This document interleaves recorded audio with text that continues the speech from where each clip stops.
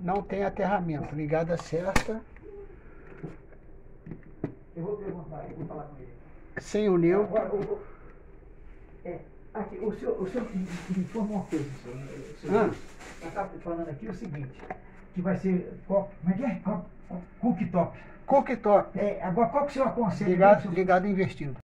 Seja bem-vindo ao canal Gilson Eletricista. Inscreva-se e ative o sininho.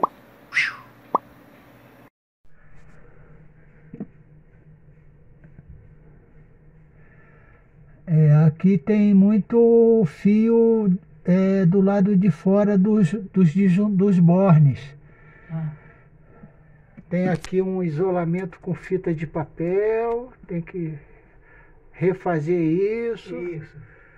Tem fio aqui desencapado aqui do lado de fora, tem- né? A- aqui no-. No, no pente, barramento de pente, tem, tem uns dentes ali que não estão sendo usados, está em espera do disjuntor lá, né? Sim, senhor. E aqui embaixo também, mas ele tem que ficar isolado, ele não pode ficar assim exposto, né? É, eu- eu- eu- naturalmente ele vai arrumar o- esse negócio do ar-condicionado aí, né? É, o do ar, mas o- o- eu vou chamar o senhor também. É, o do quadro ele não vai, me... acho que ele não vai mexer não. No quadro vai não, né? Ele vai só instalar ali o, o- Disjuntor. O disjuntor duplo, né? Do Sim. novo split, né? Sim, senhor. É, isso aqui tá meio. É, tem uma parte aqui que tá com terminais direitinho.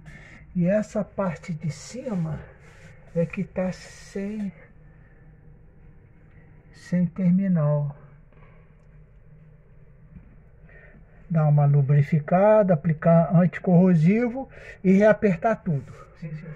Então, isso é, é bom depois que ele colocar. O ar-condicionado, né? É, Sim, depois que ele instalar, Aí eu chamo o senhor. aí eu venho e dou uma geral no quadro. Se gostou, não esqueça de deixar o like.